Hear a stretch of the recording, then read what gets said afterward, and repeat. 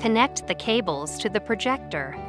If you are using a control pad, connect the Cat6 cable to the HD Base T port.